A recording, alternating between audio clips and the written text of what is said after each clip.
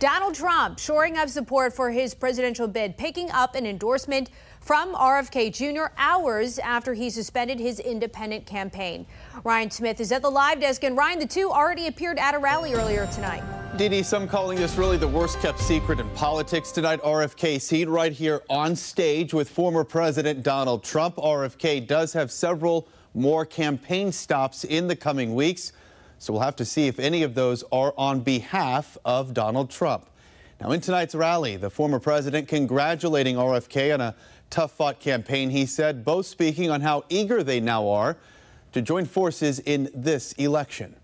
We talked about not about the things that separate us because we don't agree on everything, but on the values and the issues that bind us together. And all who supported Bobby's campaign, I very simply ask you join us in building this coalition. It's a beautiful coalition.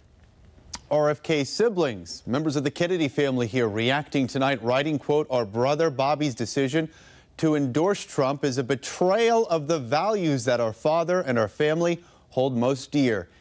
It is a sad ending to a sad story, end quote. Now, the Harris campaign reacting to this as well, saying they don't really believe tonight's political shift of support will have a significant impact on the race leading up to November. Kennedy now currently in the process of removing his name off the ballots in 10 key battleground states.